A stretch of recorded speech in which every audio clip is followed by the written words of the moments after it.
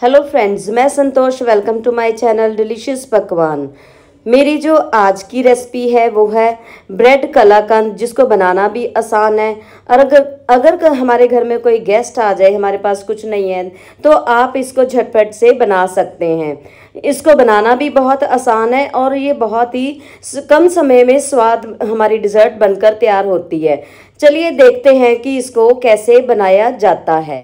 Bread कलाकंद बनाने के लिए मैंने यहाँ पर कुछ ब्रेड लिए वाइट ब्रेड है। आप चाहे ब्राउन ब्रेड भी ले सकते हैं और उनकी जो साइड्स हैं, वो मैं चाकू के साथ रिमूव कर दूँगी।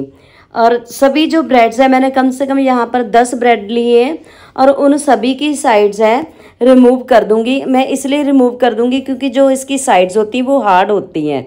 इसी तरह मैंने सभी ब्रेड्स को ऐसे इसकी साइड्स रिमूव कर दी और उसके बाद अब मिक्सर जार लूँगी और इसको हाथ से ब्रेड को तोड़ लूँगी। और उसके बाद मिक्सर जार में हम जो ब्रेड है ऐसे तोड़कर सभी ब्रेड्स को हम ग्राइंड कर लेंगे और सभी ब्रेड्स के हम ब्रेड क्रम बना लेंगे।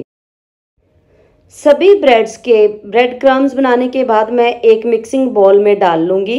फिर इनको चम्मच के साथ अच्छे से मिक्स कर लूँगी। अब मैंने एक कप लिया यहाँ पे पाउडर शुगर मैंने चीनी का पाउडर लिया।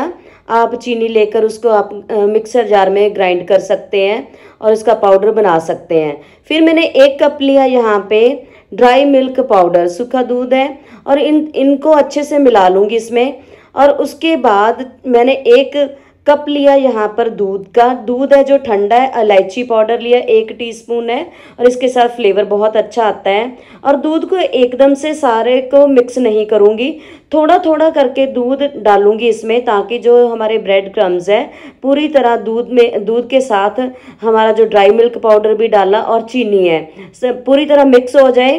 अगर ज़रूरत है तभी हम थोड़ा दूध और डालेंगे नहीं तो हम दूध इसमें ज़्यादा ऐड नहीं करेंगे।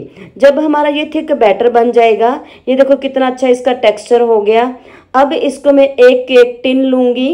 केक टिन को ग्रीस कर लिया मैंने, उसके साथ पेपर लगाकर बटर पेपर और उसके ऊपर ब्रश के साथ मैं ग्रीस कर लूँगी ऑयल के साथ। फिर मैं ऑयल के साथ जब अच्छे से ग्रीस हो जाएगा हमारा केक टिन उसके बाद मैं कुछ लूँगी यहाँ पे नट्स है चॉप्ड नट्स लूँगी। आप अपनी चॉइस के कोई भी ले सकते हैं। मैंने पिस्ता और बादाम लिए हैं और उसके ऊपर सारे गार्निश कर दूँगी बेस के ऊपर। फिर उसके बाद जो हमने बैटर तैयार किया ब्रेड्स का, वो उसके ऊपर इसमें पूरा डाल दूँगी।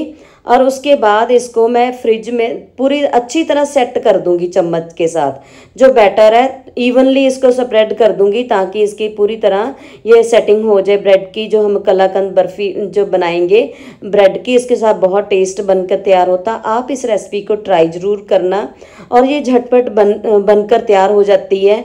अब इसको मैं एक घंटे के लिए फ्रिज में रख दूँगी। एक घंटे के बाद मैं इसको रेफ्रिजरेटर में से निकाल लूँगी और इसको डीमोल्ड कर लूँगी। और ये देखो कितनी अच्छी हमारी जो कलाकंद है, हमारी बनकर तैयार हो चुका है। बिल्कुल बाज़ार जैसा लग रहा है। आप इस रेसिपी को बहुत कम चीज़ों के साथ, कम खर्च में और बहुत आसानी से इसको झटपट घर पर ही बना सकते हैं। अगर आपके घर में कोई गेस्ट आने वाला हो तो आपके पास कोई डिज़र्ट नहीं है तो आप के लिए ये बेहतरीन ऑप्शन होगी। आप इस रेसिपी को ट्राई ज़रूर करना और मेरा चैनल लाइक करना, शेयर करना और मुझे कमेंट करके बताना कि आपको ये रेसिपी कैसी लगी। आप इस, ये अब सर्व करने के लिए तैयार हैं।